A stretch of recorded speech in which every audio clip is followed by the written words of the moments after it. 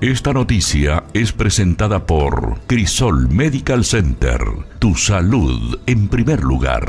Como parte del operativo que lleva adelante la Policía Nacional de Lucha contra el Microtráfico de Estupefacientes en los barrios periféricos de Encarnación, se procedió a un allanamiento y aprehensión de presuntos microtraficantes. A través de un trabajo realizado por el Departamento de Inteligencia eh, de esta Dirección de Policías de Itapúa, eh, se pudo llegar a concretar este allanamiento de una vivienda en el barrio Arroyo Poná, donde fueron aprendidas dos personas por transgresión de la ley 1340 y sus modificaciones.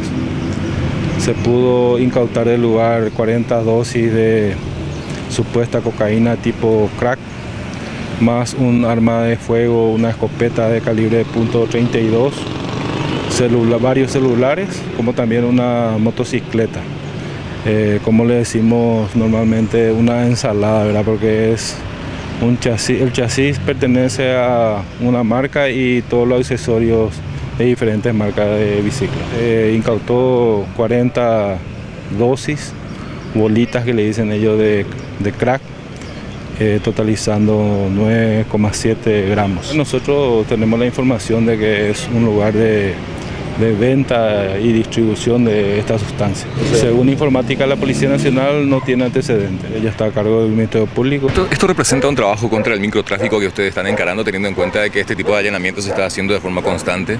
Así es, es un trabajo coordinado con personal de antinarcótico de la Policía Nacional, bajo la dirección del señor director de Policía del Departamento de Itapúa. Eh, y va a continuar, ¿verdad? Es el combate que se está realizando al microtráfico. Según los responsables, son varias las denuncias que reciben a diario de puntos de distribución de estupefacientes, pero que por un proceso burocrático y falta de agentes para el contrastado correspondiente de las denuncias, muchas veces los allanamientos no son posibles.